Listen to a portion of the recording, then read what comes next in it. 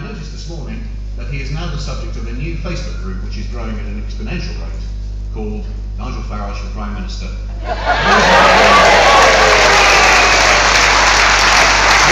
Nigel Farage.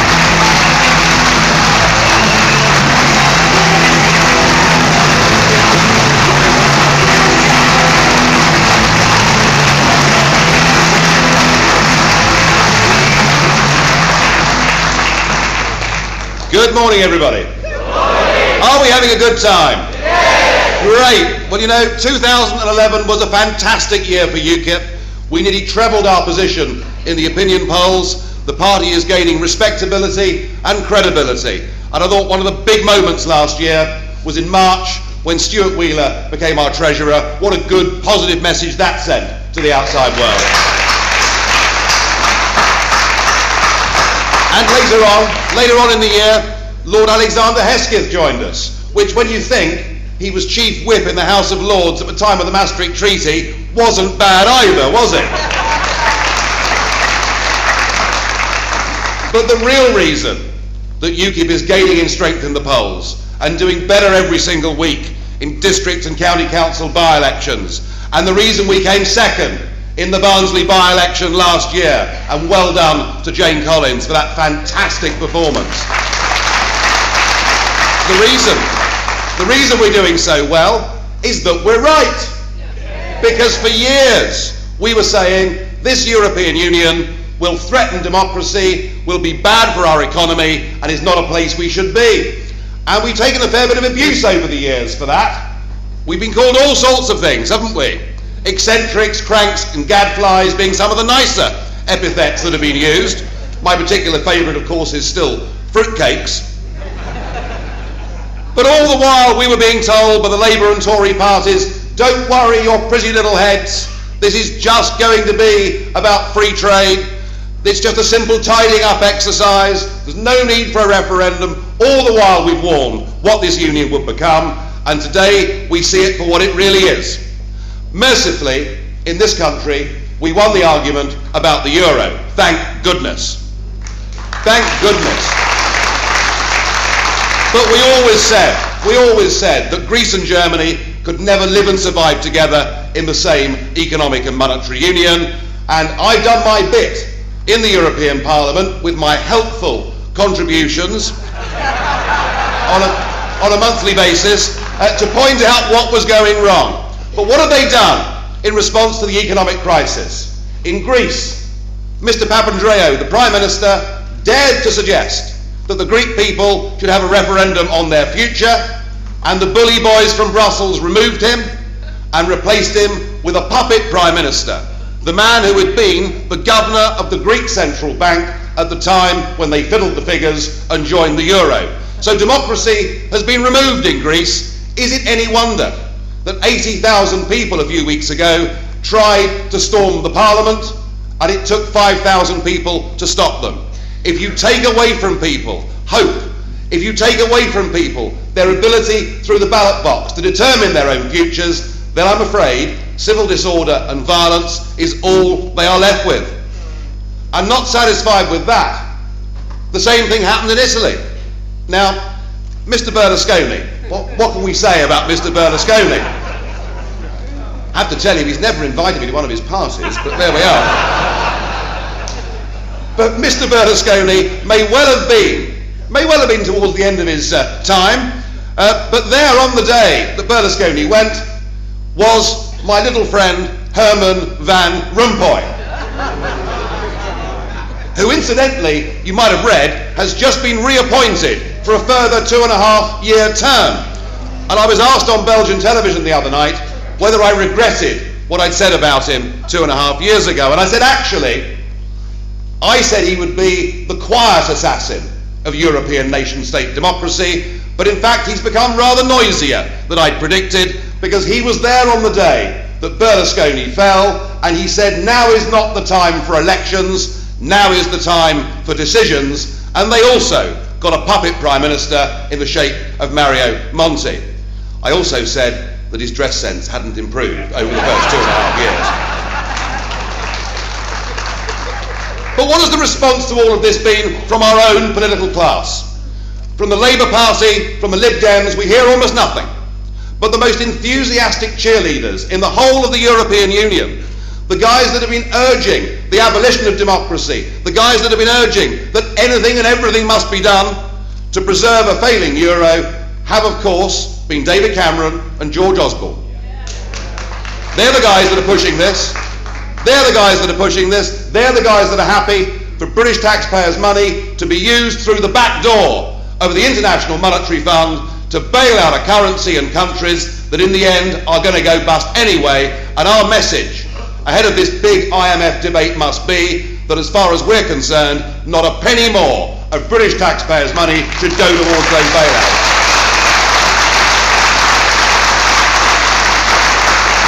Now, within Mr Cameron's party, there are some mixed views, and I saw a lovely spectacle when Mario Monti came to the European Parliament to speak, to tell us that everything was fine, there was no need to worry about democracy, the good guys were now in charge.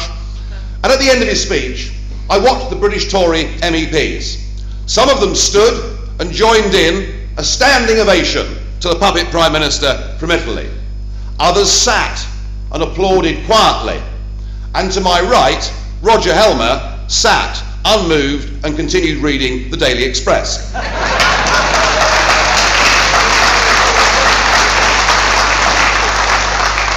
so no one seems to care. And, it, and, and really, it is UKIP, not just in this country, but in the European Parliament and right across the European Union. We are the party making the arguments. We want to live and work in a Europe of trade, of cooperation. We want to be good next door neighbours, but we do not want to be run by people like Barroso and Van Rompuy. We want a Europe of nation states.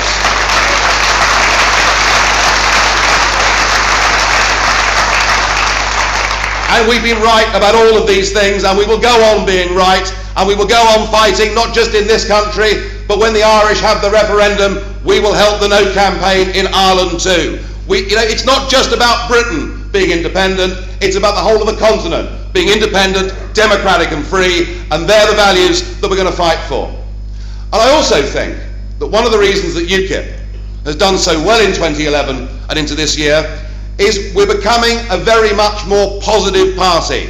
We're telling people what we're for, not just what we're against. We're explaining to people that we're the party that believes in free enterprise, that believes in business, that we're the party that recognises that the four million self-employed and sole traders in this country are the heroes of the nation for all that they do and need the weight of government regulation lifted off their backs.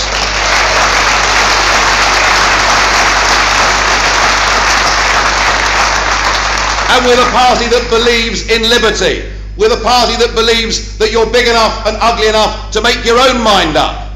And if the local pub wants to have a smoking room at the back, if you want to go out and hunt foxes on Saturday afternoons, that is your business and not the business of the state.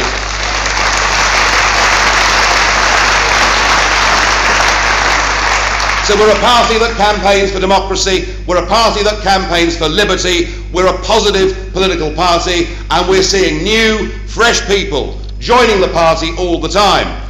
Indeed, there are one or two new people who might be joining the party today, I understand. But I want, before I introduce our newest members, just to say a word, if I can, about one of our recently departed members. Today in Belfast, there is a big funeral taking place for the late great comedian Frank Carson.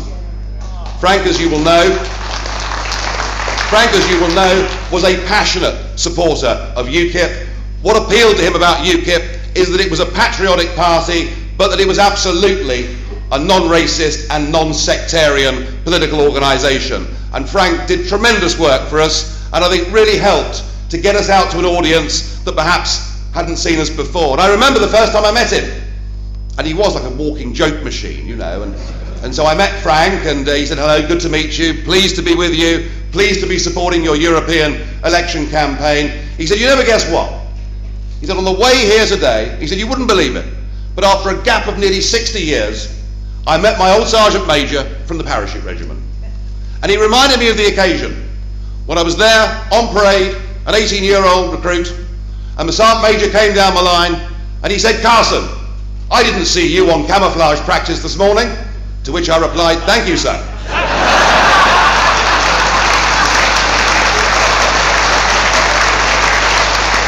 now, I thought it was a very good, and it never stopped. It kept on going, you know. So, Frank, rest in peace. Now, one of the things that we've been doing rather well, we've been attracting, we've been attracting a lot of very good young people into UKIP. You know, this idea that the views that we stand for are somehow desperately outdated and that we're little Englanders, well, we're giving lie to that with the growth of young independents. And I want to introduce you to a new member, and she's joined the party today.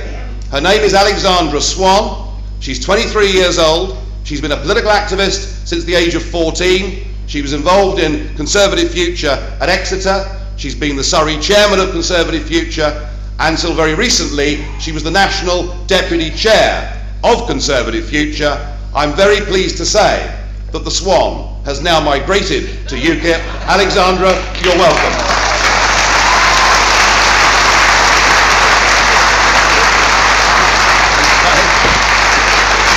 Big kiss.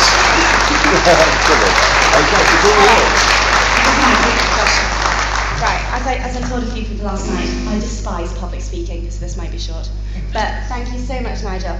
And thank you to everyone I've met this weekend who's been so lovely to me, and to young independents who've made me feel so incredibly welcome and so happy to have made this decision. After nearly 10 years in Conservative Future, it feels brilliant to not be censored. It's wonderful. Um,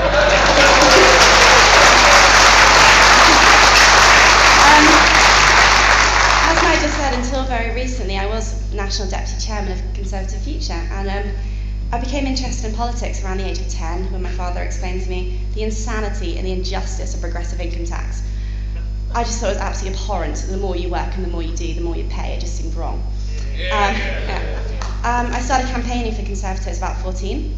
I joined the party at 16 when the Islington class warriors took away our freedom to hunt. And until October, as I said, I was Deputy Chairman of Conservative Future. Um, I've always been a conservative because I believe in a small state. I'm doing my PhD in Herbert Spencer and 19th century libertarianism, and he had the right idea. There was a coming slavery, and we have it right now. Um, I, mean, I still believe that the best way for a country to flourish is through low taxation, pro business policies, strong defence, national sovereignty, but most of all, a, a small state that only works within its proper sphere. But these,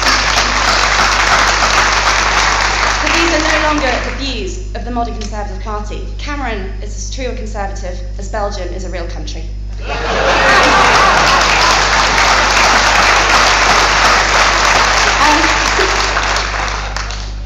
I didn't come to criticise Cameron. I think he's doing whatever he can in a terrible and difficult situation, and I, I stand by that. But as Humans noted, kindly, in fact, in The Guardian. But um, this time last weekend, I had the, the pleasure or the, or the displeasure of joining my father for a drink in Farnham Conservative Club in the most Surrey of Surrey heartlands of conservatism of Southwest Surrey.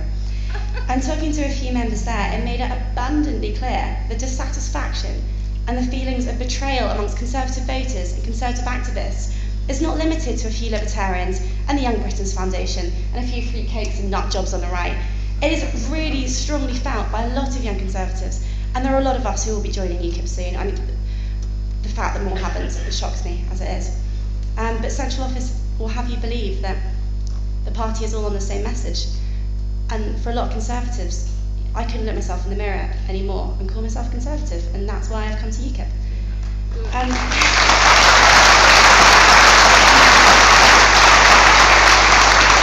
traditional, traditional Conservatives of all ages feeling strongly alienated by this Liberal Democrat led business hating government that have become so consumed by EU driven climate change fascism.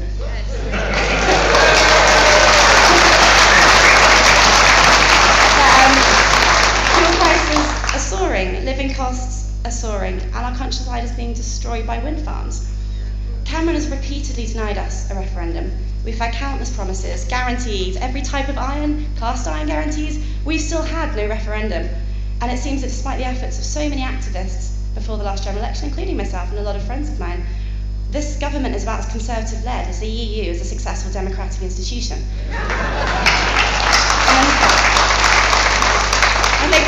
We need huge change, huge change that Liberal, Labour, Conservative cannot bring us, but UKIP can.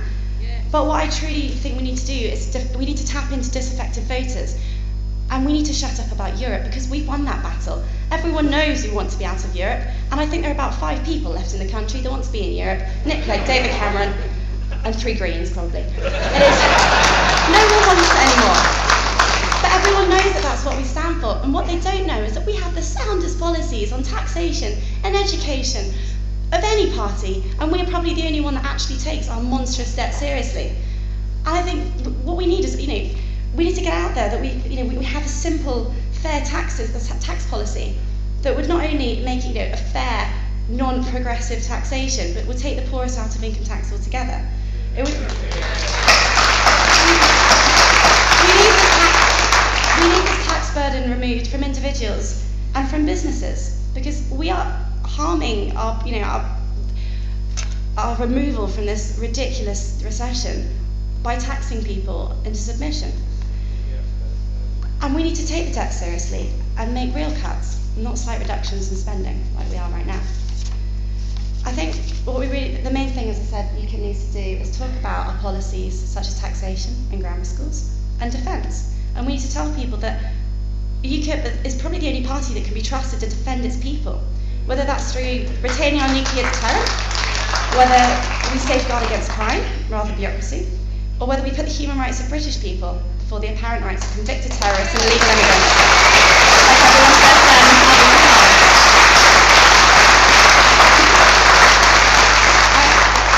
Um, think everyone here knows how well we did in the last elections, and I only wish I'd been a part of it then. Uh, sorry, European elections. But what we really need to do is capitalise on this success, to get out all of our policies, to make people listen to us, because I think the British people are starting to listen, and they're starting to. I mean, people have re- people have lost faith in a lot of Westminster. Conservatives have lost faith in Cameron, and I, I truly don't think that's the fault of the man himself. It's the situation he's in, but they're not true conservative values anymore like they were with Thatcher. The EU is crumbling around us, thank God, and support for withdrawal has never been stronger. What we really need to do is get across the country and remove the smokescreen that's been placed by the liberal left media that UKIP is a far right party like the far left BNP, because we're not. UKIP is a party of liberty, of small state, and of individuals. And what we really need to push is that UKIP does not just stand for UK independence from Europe, but its independence from the massive nanny state, its independence from political correctness, its independence from our monstrous tax burden, its independence for the individual. And for that reason, I am so proud to be a member, and thank you so much for having me.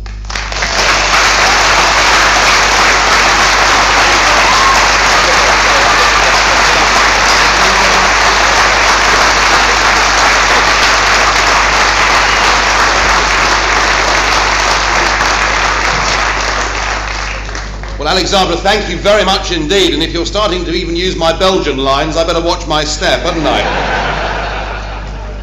now, when Steve was planning this conference, um, I did say to him, I want you to leave me a slightly longer slot than normal because I'm hoping to have a guest speaker. In fact, the next speaker, ladies and gentlemen, I've hoped to have along as a guest speaker for many, many years. Um, we've done very well to keep it as secret as we have. Uh, but the Twitter sphere was going slightly berserk last night uh, when people saw Roger Helmer walking in and sitting down next to me at dinner. Roger has been a businessman, has got experience of life in the real world. He served as an MEP since 1999 for the Conservatives.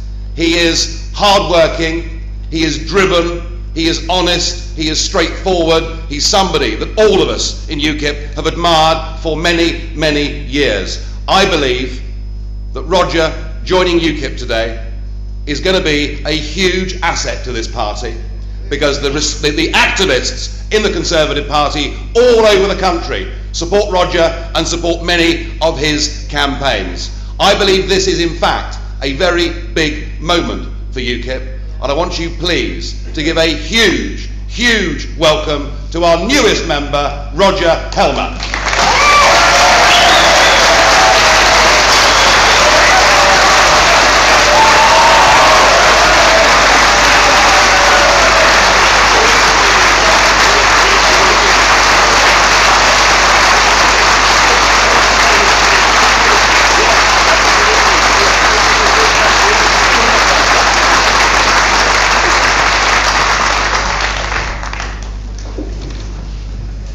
Ladies and gentlemen, it is great to be here with you today in Skegness.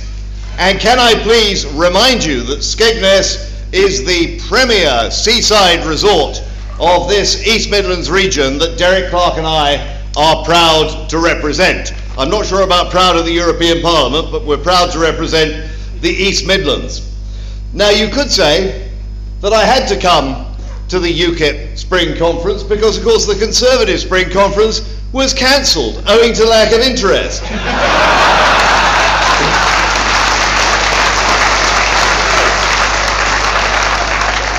I'd like, I'd like to thank you all for that fantastic welcome, and especially I would like to thank UKIP's leader, Nigel Farage. I've known Nigel for a very long time.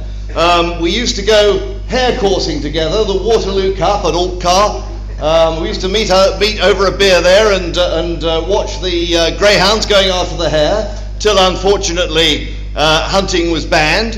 Um, but we still see a fair bit of each other in the European Parliament. Uh, and I love to listen to him in the Parliament. You've seen the, the video clips. Um, I actually see it in the flesh, and it is great to watch.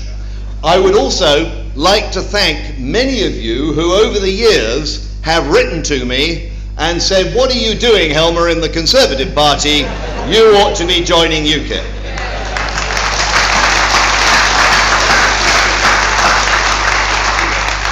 And for years and years, I've written back and said, what would be the use of the Conservative Party if all the Eurosceptics left it?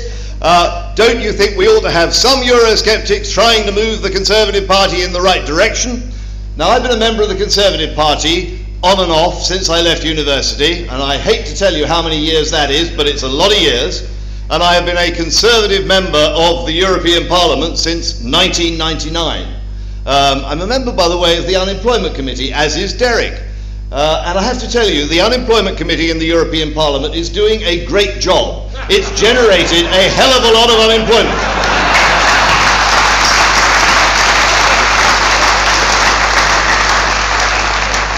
But I've finally, I've finally realized uh, that pushing water uphill is not a good way to live. Uh, I have tried and tried to get a bit of common sense into the Conservative Party. Uh, I have finally given up on that objective and moved to a party full of people who actually believe what I believe, and that is a great place to be.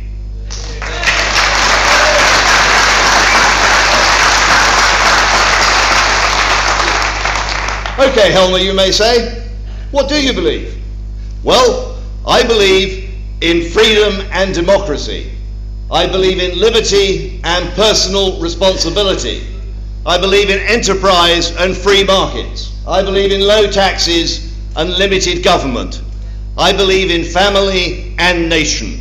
And I believe that that is what you believe too. That,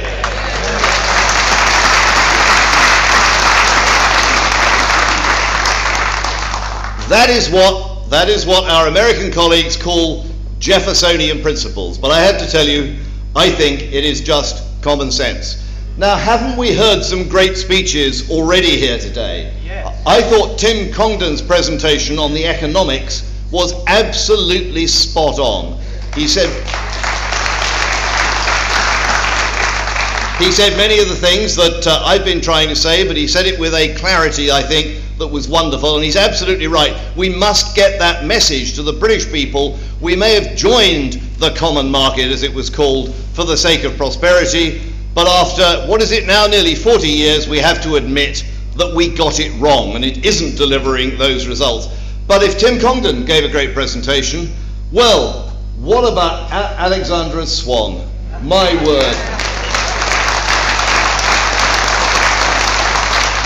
I tell you what, she proves that it's not just grumpy old men like me who want to leave the Conservative Party and join UKIP. It's exceptionally bright young people like her. And when I heard that she was going to be here, I was absolutely delighted. Now, Alexandra, you were very courteous about David Cameron. And of course, I wouldn't dream of being rude about him. But we've already heard mentioned several times the famous cast iron guarantee. Sun newspaper, September 2007, if I remember, a cast iron guarantee. No ifs, no buts, no maybes. When it comes to the point, Oh, well, of course, but the treaty's been ratified, so there's no point in having a referendum now, is there? Have you ever heard a weaker excuse? Promises, promises, and then we get the manifestos for the last general election.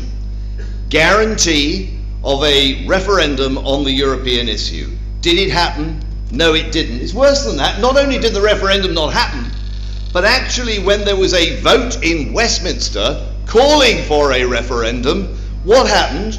Cameron's Conservatives whipped their own MPs to vote against a referendum, despite the fact, despite the fact that it was in, it had been in their manifesto. And it's not only in Westminster. We also had a Conservative manifesto commitment to oppose the European Diplomatic Service, the European External Action Service, as they call it. That was our party policy, to oppose it. Now, we had a vote on this question in the European Parliament, and I was sitting there looking at the list. You know, we all have lists of how we have to vote. You may say, why don't you make the decisions decision by decision, one at a time? But when you're voting on 800 amendments in the course of an hour and a half, you really don't have time to read them and make a decision. You do need a little guidance. But where there is an important vote, as for example on the diplomatic service, uh, we usually check in advance and we know where it's going to come. And I was looking down, I knew where it was, and we were whipped to vote in favour of the European diplomatic service. And I turned round to Charles Tannock, who's our foreign affairs spokesman. At least they regard the European Union as foreign. I suppose that's something. I, I turned round to him. I turned round to him and I said, "We got the vote wrong here. We're supposed to be voting against." Oh no, he said. Westminster has asked us to vote in favour. So that was another turnaround. Let's take another commitment. When we had the coalition agreement, it was extremely difficult for the Conservative Party and the Liberal Democrats to agree about anything with regard to Europe. There was only one thing. They agreed that both Conservative and Liberal Democrat would oppose would oppose the famous travelling circus the uh, monthly movement of the European Parliament between Brussels and Strasbourg, which, as I'm sure you all know, costs uh, about 200 million pounds a year. At least they had the common sense to say in the coalition agreement that they would oppose that. So when a group of MEPs in the Parliament managed to get a decision made by the Parliament not to stop it, but to cut it down from 12 times a year to 11 times a year, and when the French government, trying to defend Strasbourg, took the European Parliament to court, and when there was an opportunity for member states to make representations to the court for or against, and a couple of member states supported France, was our coalition government there on behalf of the UK saying, no, we've got to stop this nonsense and this waste? No, they sat on their hands. When I inquired afterwards why they had done so, you know the reason was? Well, we thought it was a bad time to upset the French. Do you think there is anybody there in the Quai d'Orsay who is sitting around saying, let's not upset the British? I don't think, I don't think that's the case. But if we look at Cameron on the issues, on Europe, he is, or has been, effectively a complete sellout. I sat opposite him in a room with the Conservative delegation about seven or eight months ago. He came to visit us in his capacity as Prime Minister and we each had an opportunity to do a question. It wasn't really a debate because the time was limited, but a quick question. I said, Prime Minister, I said, the Conservatives who selected me and supported me and campaigned for me in the East Midlands, they think we ought to have a referendum on Europe. What about it? And he said, No, he said, I don't want a referendum on Europe because we are better off in.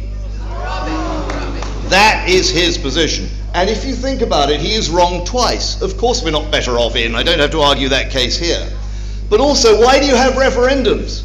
You do not have them to confirm the prejudices of the Prime Minister. You have them because you want to give the British people an opportunity to have their say.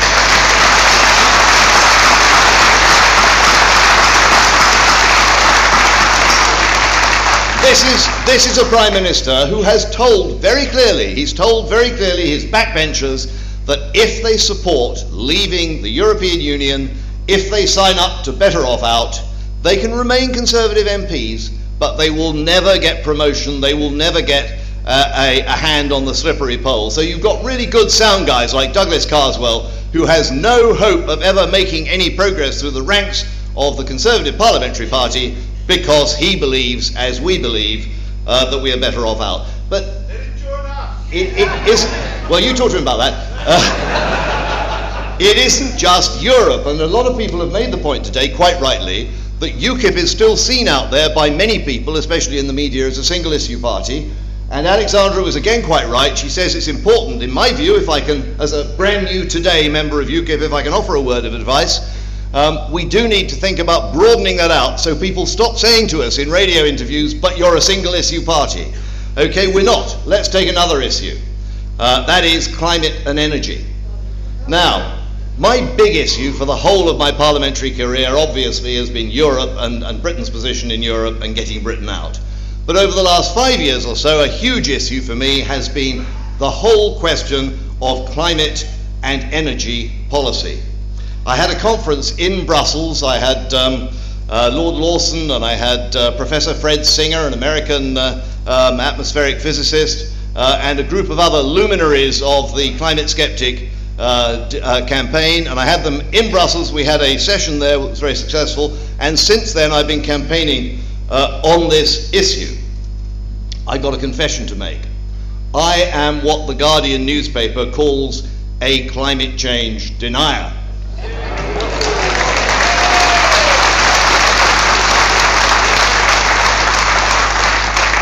Of course, I'm not a climate change denier. Anybody who denies the plain fact that the climate changes would have to be mad. The climate has always changed, it will always change. The question is, why does it change?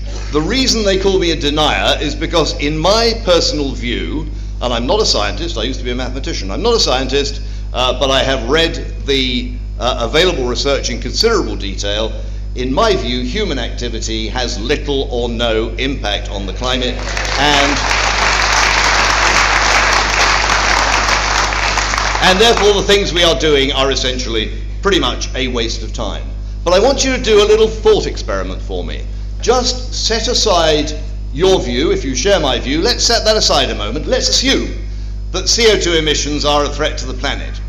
What would you try and do? What you would try and do is you would say, let us find a way of reducing CO2 emissions as efficiently as possible, as low cost as possible, doing the least possible damage to the economy. That's what you would do. Now, the problems start, as so many problems start, of course, with Brussels. Brussels has decided that we're going to have targets for renewables. Well, why renewables? Why not low carbon generation? In which case, nuclear would be on the same level as wind farms. And by the way, as we all know, energy from uh, nuclear power stations is a hell of a lot cheaper. Um, but we don't do that. We actually say, no, we're going to use renewables. Nobody's explained why we use renewables in preference, say, to other low carbon technologies, but that's what they say. And I don't need to talk to you about wind farms. We all know what's wrong with them. Uh, recent research is indicating that they probably save almost zero CO2 because, as you know, they're intermittent. You have to back them up, usually with gas. Gas run intermittently to back up wind is itself inefficient generates more CO2 than you need to and costs more than you need to, and you're building the capacity twice. I say to people who want to build wind farms, you'll need the gas backup capacity. Why not just build the gas and forget about the wind farms? But recently, recently, a hundred plus members of parliament in Westminster wrote to the Prime Minister asking him to reconsider the policy on green energy and green energy subsidies. And um, uh, he wrote back a letter.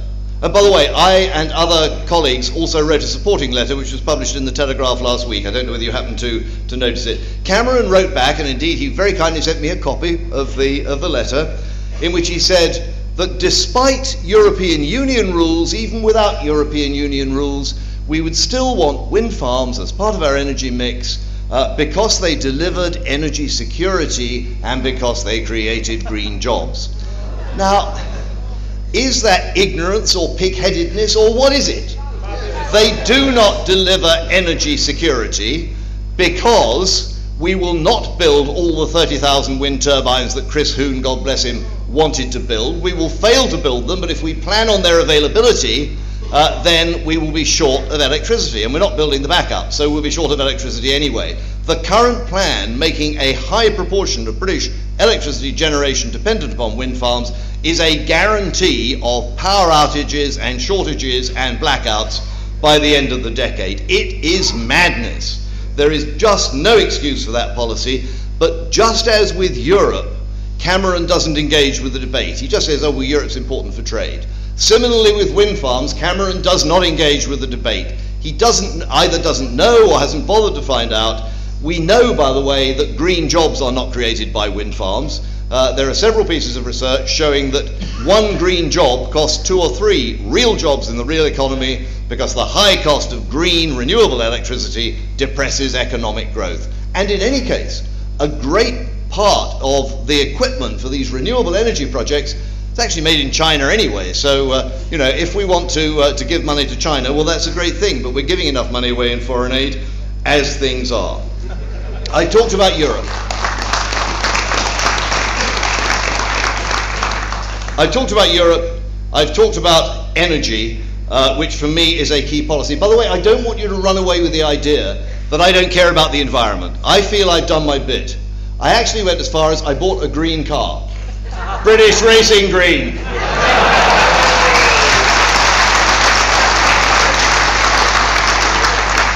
and I enjoyed burning the gas on the way up here from Leicestershire, I tell you. But it's not just those two issues, it's a load of other issues. It's defence. I won't go into it because I, we could talk for half an hour about defence. It's foreign aid, that's been raised already, and I can sense the mood of the meeting. It's immigration that's already been covered.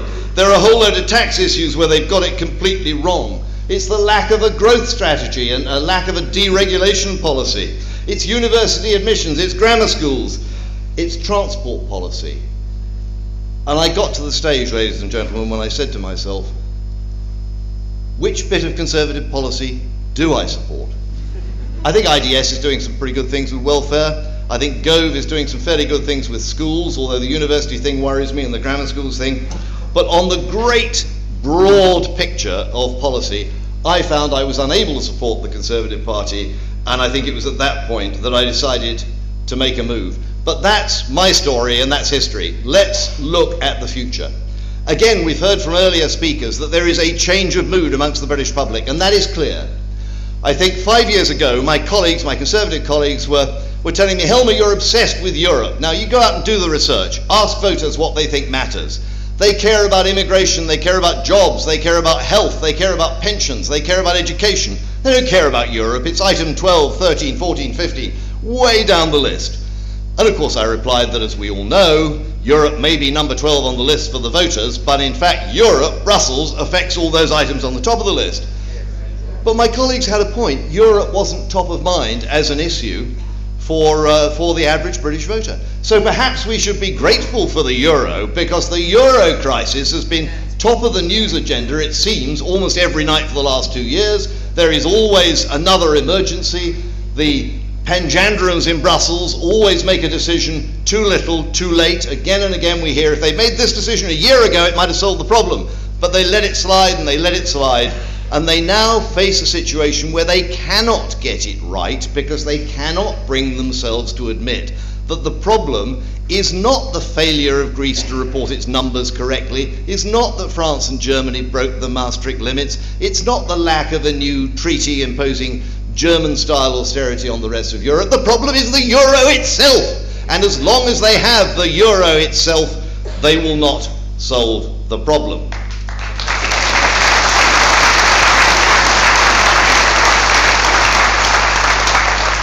But that gives UKIP the opportunity that we have needed. Suddenly, Europe is no longer way, way down the list. Europe is in everybody's mind.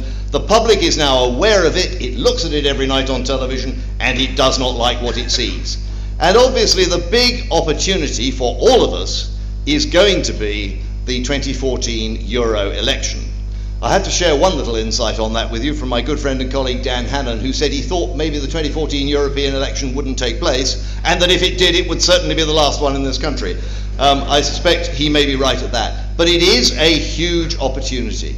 Last time, UKIP came second, beating Labour into third place. That was an incredible achievement.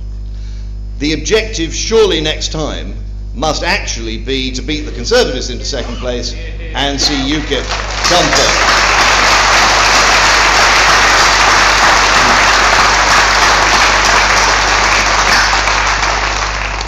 As you know, I was selected and elected by East Midlands Conservatives three times over the course of my parliamentary history. They agree with what I am saying. They do not agree with what David Cameron is doing. And I believe, therefore, that I will have a role to play working with you in that campaign to get the UKIP message across.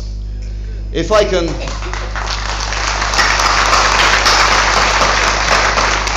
If I can just say in conclusion, I believe that the British people have the ability and the right and the duty and the manifest destiny to govern themselves in an independent and democratic country. That is where the future is. I was born in the closing years of the Second World War, while Britain was marching on to victory against one of the worst tyrannies of the 20th century, a tyranny, by the way, based in Berlin. I was born, I was born into a Britain that was free and independent and democratic. And ladies and gentlemen, all I ask is the right to die in a Britain that is free and independent and democratic.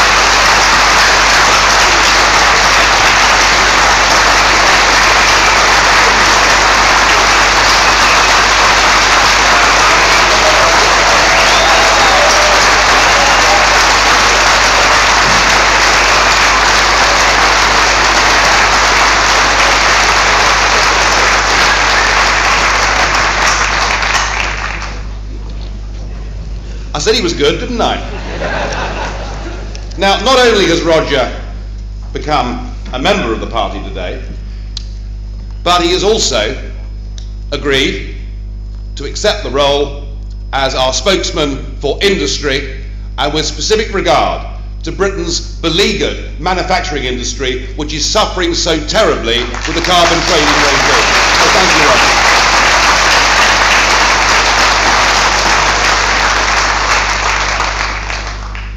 Our battle isn't just against the EU. Our battle, if you think about it, really is against the political class in this country who've sold us down the river, but not just to the EU. Not just to the EU. I want to highlight, for those that perhaps haven't seen it, the recent extradition case of a businessman, a retired businessman called Christopher Tappin. Now, I have to declare an interest in this. I've, I've known Chris Tappin for nearly 40 years, for nearly the whole of my life. Uh, we live close to each other. We're members of the same golf club. I knew his father, I know his wife, I know the children. So he is a friend of mine. And I do very much take the view that a businessman, successful businessman, living in a big detached house, whose children have left home and are doing well, I take the view that a businessman in that position would not have risked everything on a transaction that stood to make him the handsome sum of $500. To me, it doesn't make sense. But actually, folks, the issue isn't whether Mr. Tappin has or has not done anything wrong. The issue is that a 65 year old retired businessman who has never been in trouble with the law for the whole of his life in this country, indeed, he's only ever had one speeding ticket throughout his whole adult life. The issue is that that man has been extradited to America without at any opportunity being able to present his side of the argument and without the American authorities producing any prima facie evidence at all. And that overturns every single good, decent principle of British justice that we have enjoyed since Magna Carta. And I put it to you that Tappin's extradition is an abomination.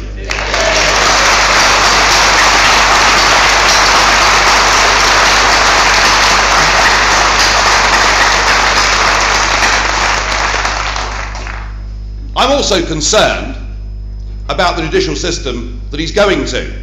You know, I used to think of America as being the land of the free. But I'm afraid that when those towers came down, and when George Bush said he was going to launch a war on terror, that that has in fact now become a war on liberty. And the plea bargaining system in America is such that you're put into prisons that are gang ridden, that are violent, that are brutal, and certainly no way that we would ever consider putting people in prison. You're put in those conditions, and you're faced with a choice under a plea bargaining system. You're told that you may well not get to court for four years. So you'll spend the next four years on remand in one of these brutal prisons. You're told that your legal fees will be between one and two million dollars. And you're told that if the jury finds against you, you face life imprisonment. Or you'll be told under a plea bargaining system, if you plead guilty, you'll just get two years and then we'll let you go. Does that sound like a fair judicial system? Well, that is the world. That is the world that my friend Chris Tappin now finds himself in. He's in just the most impossible position. I spoke to his wife on Thursday. Um, he is being kept at the moment in a cell on his own. They've removed his books and his reading material. He's allowed out of the cell for two hours a day, but the lights are kept on for 24 hours a day. We're talking about really unpleasant and brutal conditions. It is quite wrong. But what have our government done about this? Worse than nothing. Worse than nothing. In opposition, the Conservatives made the point that this treaty was wrong.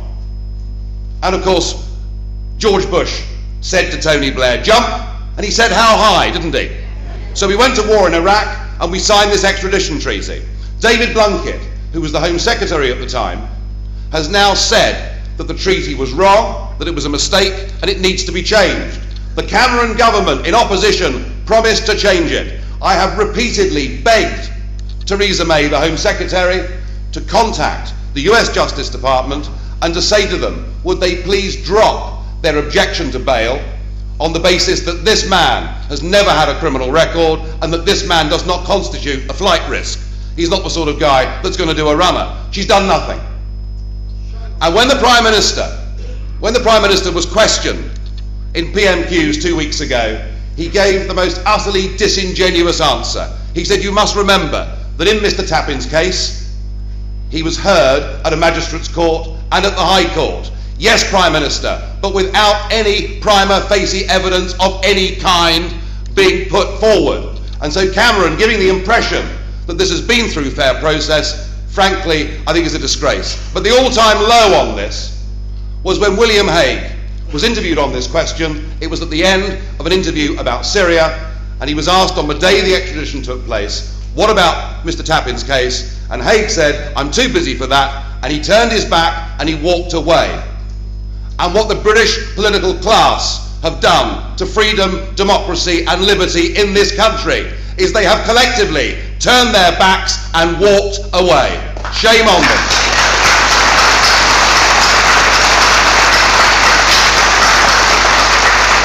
So I am, I am today launching an e-petition on the Downing Street website and I'll ask you all please to sign that petition, to get your friends to sign that petition.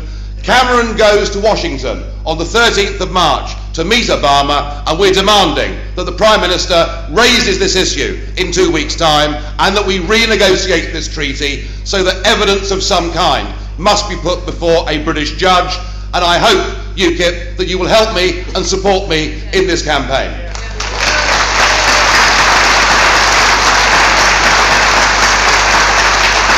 Thank you.